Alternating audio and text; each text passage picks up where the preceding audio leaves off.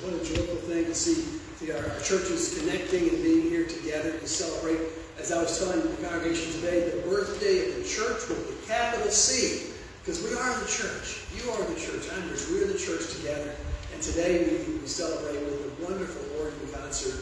And I'm so glad that you could be here uh, to hear Susan Williams. And then uh, it's, it's going to be wonderful to have some refreshments after on the front porch. Uh, you can stick around a little bit. It's not too warm. And I'd love to have you do that. Just want to point out, just so you know, the restrooms are up these short stairs up here to the left. And uh, you know, so there's some water up there. There's also water on the porch if you need something. That's welcome to bring it into the sanctuary. Hear this, hear this call to worship. In the last days it shall come to pass. God declares that I will pour out my spirit on all flesh, and your sons and daughters shall prophesy. Your old shall dream dreams, and your young shall see visions. When the day of Pentecost had come, they were all gathered together in one place. And suddenly a sound came from heaven like the rush of a mighty wind, and it filled all the house where they were sitting. And there appeared to them tongues as of fire, distributed and resting on each of them. They were all filled with the Holy Spirit. May we pray. Oh God, you sent the Holy Spirit to enkindle the zeal of Christ's followers waiting in Jerusalem for his promised gift. Pour the same inspiration on your people here and on the church of Christ throughout the world. Revive the power of the gospel in our hearts that it may be to us a sacred trust for the blessing of all creation. Enable your church to spread the good news of salvation so that all nations may hear it in their own tongues and welcome it into their own lives. Protect, encourage, and bless all ministers of the cross and prosper their words and works, so that Jesus, being lifted up, may draw all people unto him, and the kingdoms of the world may become the kingdom of our Lord, Jesus Christ.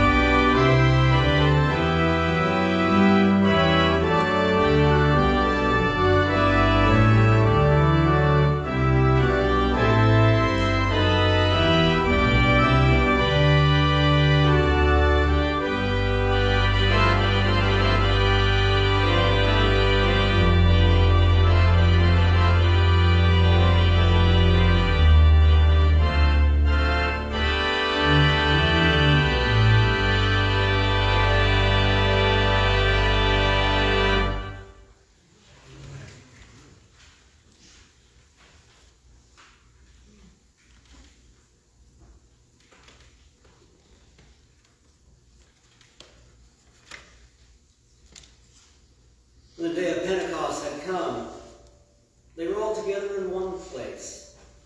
And suddenly from heaven there came a sound like the rush of a violent wind, and it filled the entire house where they were sitting. Divided tongues as a fire appeared among them, and a tongue rested on each of them. All of them were filled with the Holy Spirit and began to speak in other languages as the Spirit gave them ability. Now there were devout Jews from every nation under heaven living in Jerusalem. And at this sound the crowd gathered together and was bewildered because each one heard them speaking in the native language of each. Amazed and astonished, they asked, Are not all these who are speaking Galileans? And how is it that we hear, each of us, in our own native language?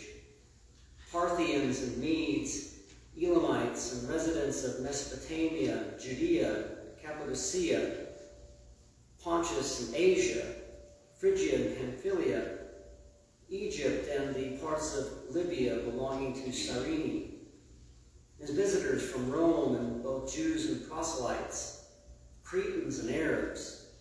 In our own languages, we hear them speaking about God's deeds of power. All were amazed and perplexed, saying to one another, What does this mean? But others sneered and said, They are filled with new wine.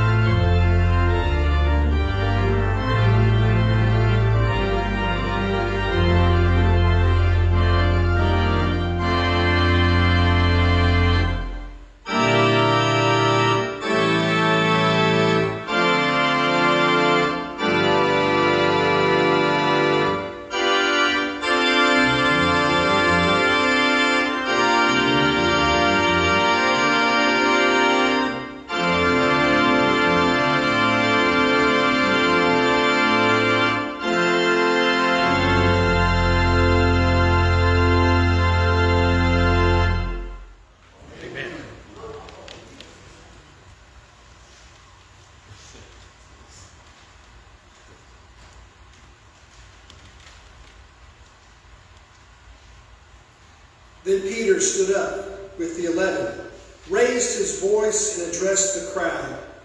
Fellow Jews and all of you who live in Jerusalem, let me explain this to you. Listen carefully to what I say. These men are not drunk, as you suppose. It's only nine o'clock in the morning. No, this is what was spoken by the prophet Joel. In the last days, God says, I will pour out my spirit on all people. Your sons and daughters will prophesy. Your young men will see visions. Your old men will dream dreams. Even on my servants, both men and women, I will pour out my spirit in those days, and they will prophesy. I will show wonders in the heaven above and signs on the earth below blood and fire and billows of smoke. The sun will be turned to darkness and the moon to blood before the coming of the great and glorious day of the Lord. And everyone who calls name of the Lord will be saved. I point out that in your hymn, in your bulletin you have um, references to certain hymns that are in the pewbacks in front of you, the, the, the hymnal. So, for instance, 475 is the one coming up. Come down, O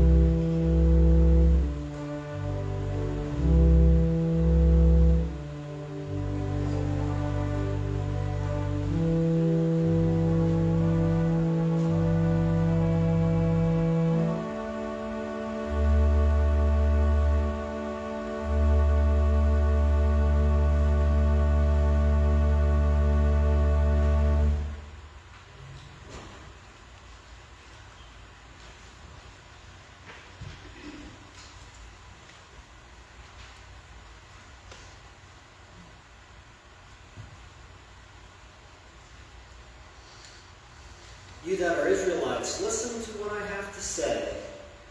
Jesus of Nazareth, a man attested to you by God with deeds of power and wonders and signs that God did through him among you, as you yourselves know. This man handed over to you according to the definite plan and foreknowledge of God. You crucified and killed by the hands of those outside the law.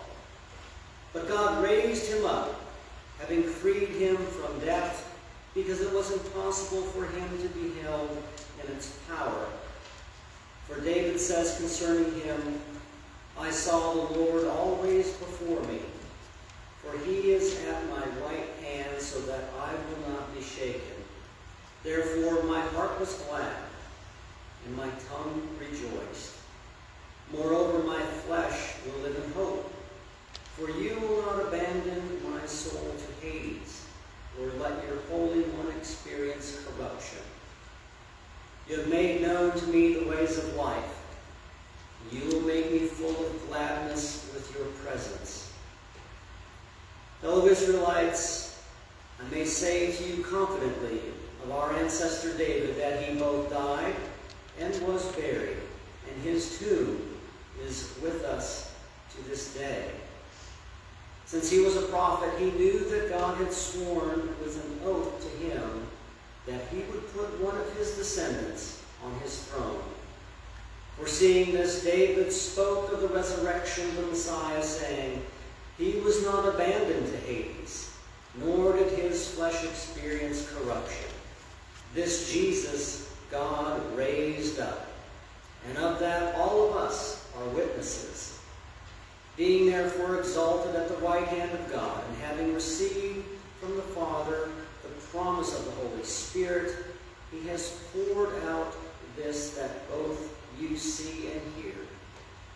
For David did not ascend into the heavens, but he himself says, The Lord said to my Lord, Sit at my right hand until I make your enemies your footstool. Therefore, let the entire house of Israel know with certainty that God has made him both Lord and Messiah, this Jesus whom you crucified.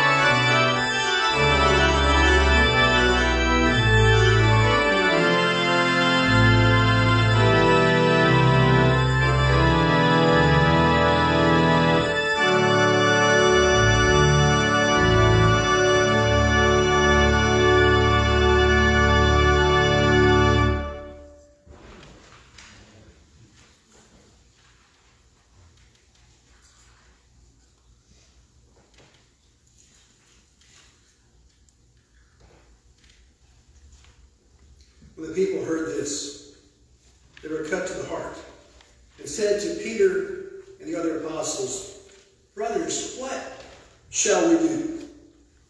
Peter replied, Repent and be baptized, every one of you, in the name of Jesus Christ for the forgiveness of your sins.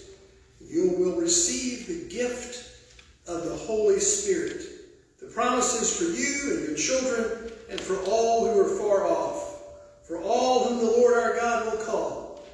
With many other words, he warned them and he pleaded with them, Save yourselves from this corrupt generation. Those who accepted his message were baptized, and about 3,000 were added to their number that day.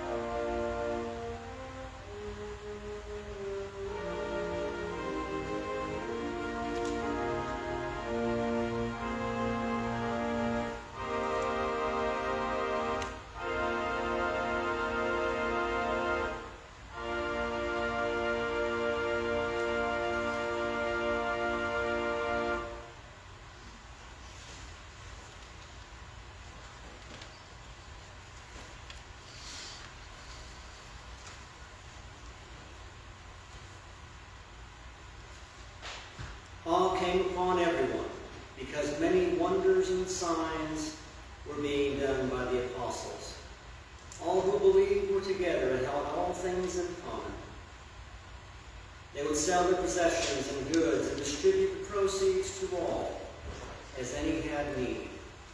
Day by day, as they spent much time together in the temple, they broke bread at home and ate their food with glad and generous hearts, praising God and having the goodwill of all people. And day by day, the Lord added to their number those who were being saved.